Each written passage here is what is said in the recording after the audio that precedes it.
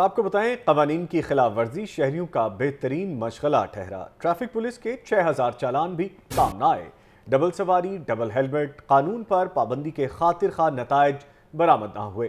سڑکوں پر بنا helmet, motor cycle سواروں کی مٹر گشت کا سلسلہ ابھی بھی جاری ہے۔ اس حوالے سے مزید جانیں گے، ارسلان حیدر سے۔ جی ارسلان، بتائیے گا، اس پابندی کا مکمل اطلاق نہیں ہو سکا۔ جی بالکل چھ روز گزر چکے ہیں اور سی ٹی او لاہور کی جانب سے مال روڈ پر ڈبل سواری، موٹر سائیکل سوار، دوسری سواری عید ہوتی ہے اس پر ہیلمٹ پابندی کے حوالے سے جو چلان تھا، ان کا کاٹنے کا سلسلہ جاری ہے۔ چھ روز کے بعد سٹی ٹریفک پولیس کی جانب سے چھ ہزار چلان تو کاٹ دیے گئے ہیں، لیکن ابھی بھی اس کے خاطر خواہ نتائج جو ہے وہ موصول نہیں ہو رہے، کیونکہ سڑکوں پر متعدد افراد ایسے نظر آ رہے ہیں جنہوں نے ہیلمٹ نہیں پہنا ہوا۔